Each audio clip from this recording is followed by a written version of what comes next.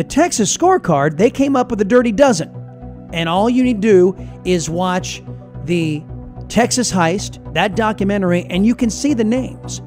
You're going to find that when you start parsing this out, there's there are different degrees of treachery among the Republicans who are really Democrats.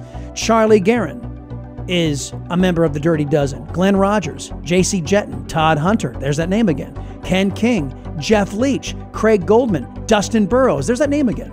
Lynn Stucky, Stephanie Klick, Andrew Murr, Justin Holland, and of course Speaker Phelan. So the Dirty Dozen, according to the Texas Heist, if if you want to use that as your voting guide, then all of those people do not go back to the state house because they are complete sellouts to socialist Marxist Democrats in this state, working at the behest of the National Democrat Party to turn Texas blue.